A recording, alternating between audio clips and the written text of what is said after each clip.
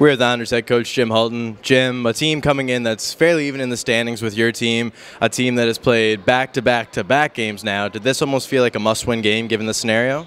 Well, it did. I think if we look at uh, where we're at right now, if we wanted to make any move up the standings, it has to happen now. Uh, we had a tired team coming in here tonight, but I thought we did a really good job. I thought it was a real complete effort for 60 minutes. We did what we had to do.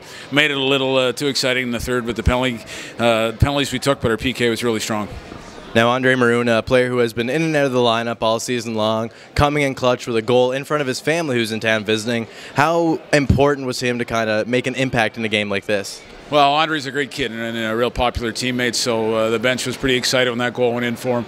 Always nice to score in front of your family, in particular when they've come across the ocean to be here. It's a special week for him, and you know, he's a big body guy, and hopefully that confidence uh, will springboard him into a good stretch run here because he's a big body that's hard to handle in front of that net a bit more physicality in the game tonight against Blainville. Has that been kind of a staple of the team coming into the second half, making sure that they're able to push around as well as they can be pushed? Well, I think defensively we had to close plays off quickly. One of the things we identified with our defensive issues was not closing plays off physically or quick enough. So the two of them have to be in, in concert with each other, and we've done a much better job of late. And I thought tonight was another good example of that. Now, coming up on Monday, the Islanders' first ever Islander Day game in franchise history against the Titan. Is that another game that has been circled on the calendar just due to its importance of a holiday, but not only that, but in the standings as well?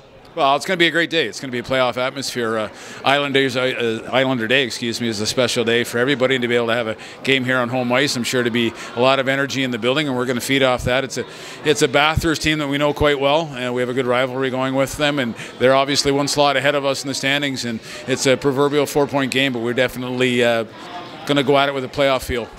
Great, thanks, Jim.